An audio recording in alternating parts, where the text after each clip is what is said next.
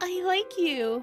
The girl I like confessed to me. Please go out with me. But why is she handing me money? 5,000 yen? Eh? Uh, It's not enough? that's not the problem. I'd get it if it was a letter, but why are you giving me money while you confess? Because I figured this would work well. Do you think I date someone just because they gave me money? But Fujiwara-kun, you're having money problems, aren't you? What? You have unhealthy, pale-looking skin, and your limbs seems like they could break at any moment.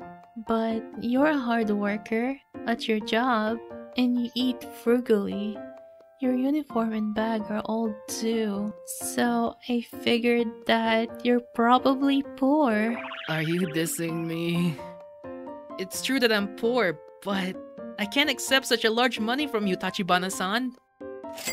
No, the amount isn't the problem. But wouldn't you be happy to receive money?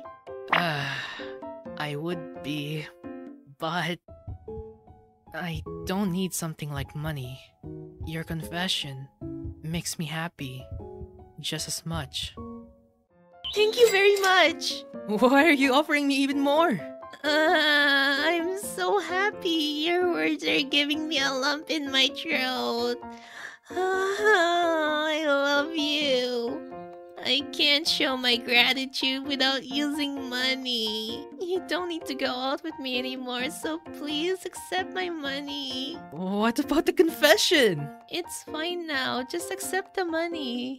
Eh,